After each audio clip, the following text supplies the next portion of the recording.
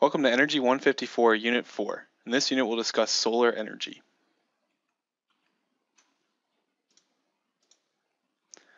So as usual, your first homework question is going to be to calculate the percentage of solar energy um, provides the total United States energy supply.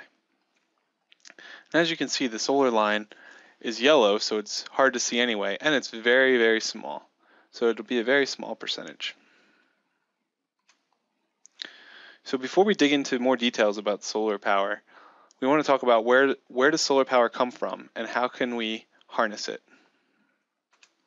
So solar power obviously comes from the sun, but how does the sun generate power? So the sun actually generates power from a hydrogen fusion reaction. So if you want more information, you can go to this hyperphysics website. But the idea is that two hydrogen atoms come together and produce a helium atom and produce energy at the same time. We'll go over this a little bit more when we talk about nuclear power. So let's talk about some different solar power options. So these are a bunch of different solar power options, and some are very small um, and fit on a rooftop like the top middle one, and some are very large. And it's hard to see the scale of this um, power plant here, but um, you can see the mountains in the background, and also there's uh, a tiny truck right here at the base of um, the tower. So you can see how massive um, the this this solar field is. And the same thing down here, there's a, a, man standing next to this solar power plant. And this is a bigger solar power plant, um, or this is a smaller solar power plant, but still rather large with some trees. So let's talk about all, what all these pictures sort of mean. So the top left picture is a picture of biomass. So this is a, um, plants that are grown for fuel instead of food. So sometimes this is, uh, the most famous one of these is corn ethanol. I believe this is um, a different um, plant here. This obviously is not corn here. So um, that's the idea, is that biomass that takes the sunlight and converts it into carbohydrates in the plants, and then we can use those carbohydrates for fuel, either by burning the plants or converting it into liquid fuels, like ethanol. So thermal, solar thermal is a technology where this is on a typical roof, but basically you just take the sunlight and heat something up. So um, in, in general, this is used mostly for hot water and space heating. So, and that's why it's on the top of a roof. So it's used for this home's hot water and space heating. So then we also have what's called solar thermal electrical generation. So if you remember way back when we talked about power plants, is the power plants take heat and add it to water to create steam to, to run a turbine. And basically, we're doing the same thing. These are just like conventional power plants, except the heat that we're generating is from the sun instead of from fossil fuels. So in this case, the top case, the heat is reflected off what's called these parabolic mirrors into this tube. And this tube contains oil that heats up, and then the oil um, converts water into steam and runs a turbine. Up here, you can see all of these little mirrors are focused on this top point of what's called this the power tower, and this this top point gets very hot and converts water to steam and runs a turbine. So these are generally um, only useful or only um, economical to build in the desert. So photovoltaic panels are a little bit different. They don't involve heat at all. And, and these are the probably the most typical solar panels that you see. They convert sunlight directly into electricity. So if you want to know more about um, this. It's a quantum mechanical process, but there's a pretty good um, information on um, the basic physics at this website. So what are the conversion efficiencies of all these technologies? So if we're just looking for heat, that's probably the best conversion efficiency. So if we're just looking for heat, um, the solar thermal for heating is about 50%. So the photovoltaic panels have a large range depending on um, how much you spend for them, um, from you know 10% and even lower than that sometimes. And the highest are around 40 or 45% in the in the labs, and um, it probably will hit 50 50% soon. Um, the solar thermal power plants, if we go to sunlight to electricity, are somewhere in the range of 1.5% efficient. And then if we look at the biomass, um, if we look sunlight to fuel or electricity, these are way worse. These are 0.034% efficient.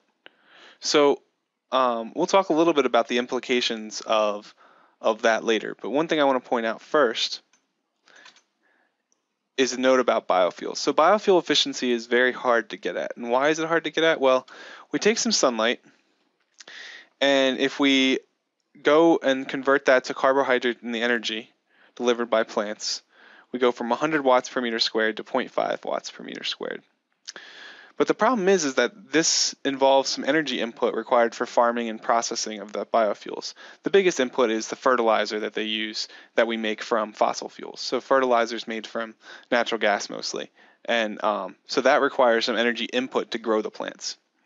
So your delivered energy is much lower than um, than just the carbohydrates that are in the plants because we had to use some energy to to farm the land and to um, fertilize the land. So we get a net energy out.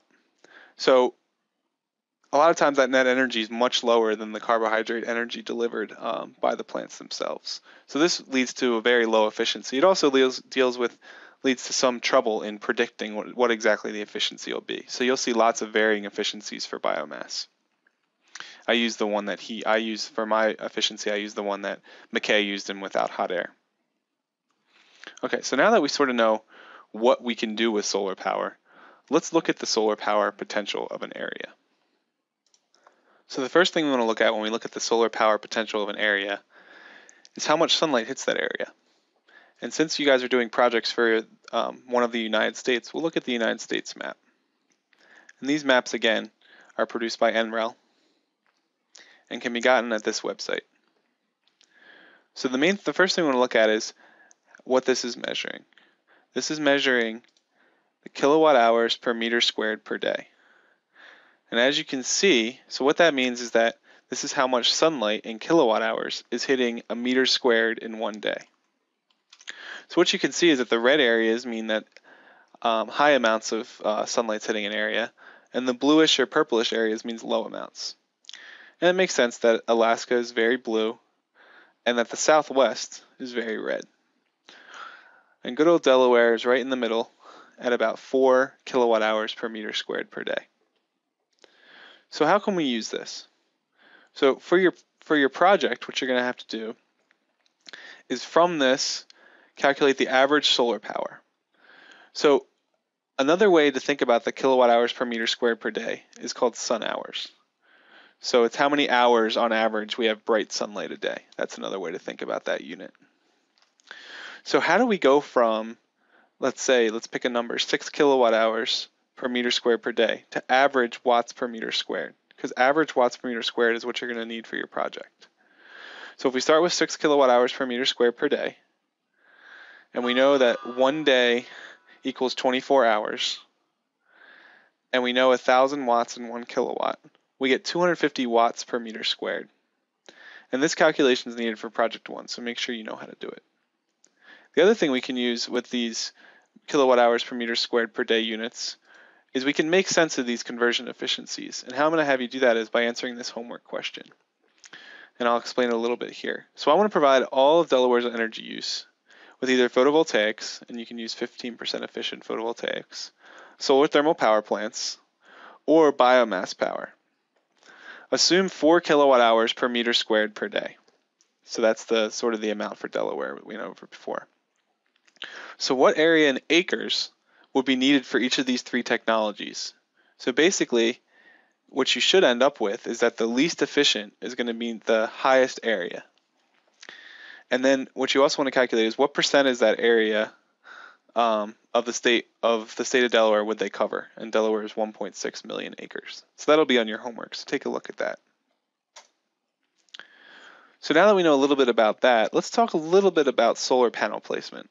And we'll be doing a lab um, that, that talks about solar panel shading. And um, but we do want to talk a little bit about um, what's going on here. So what I want you to do is get a feeling for how the sun moves throughout the sky. So just like before we did with wind power, I want you to open up the sun's position computable document file, and it's under resources in Blackboard. And I want you to read these questions and and and answer them um, to the best of your ability. I also want you to figure out once you've done that, you should this should uh, um, help you answer this question. So let me explain what's going on in these pictures. Let's first look at the solar panels in this picture. There's four of them. There's solar panel 1, solar panel 2, solar panel 3, and solar panel 4. And as you can see, they're all tilted in different orientations. So solar panel 4 is tilted completely up and down. Solar panel 3 is tilted about 45 degrees. Solar panel 2 is tilted about 90 degrees or perpendicular um, to solar panel 4. And then this um, solar panel 1 is tilted um, 45 degrees in um, the other direction.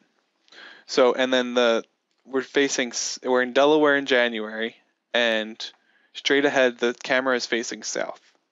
So what we did is we logged what's called the short circuit current of the solar panels. But all that means is the higher the short circuit current, the higher power we can get out of the solar panels. So that's all you need to know is that it's more sunlight hitting the solar panels.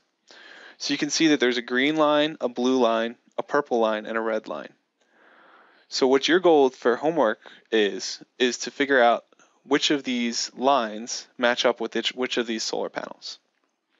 And then you also want to think about is if we did this experiment in June instead of January, how do you think this graph would look different? And what what would change about this graph? So we're also going to take into account not just how the sun moves throughout the sky with solar panels, but how shading can affect it. So this happens with trees or with chimneys or all types of things with for solar panels. So we're going to talk about that and we're going to do a lab the last day of class. So you'll see how um, real solar engineers go out in the field and calculate shading. So using what you know, what you've done in the homework, what I, I want you to answer this discussion board question.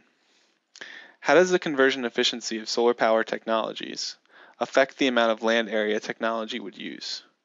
And do you think this would be a factor in your state?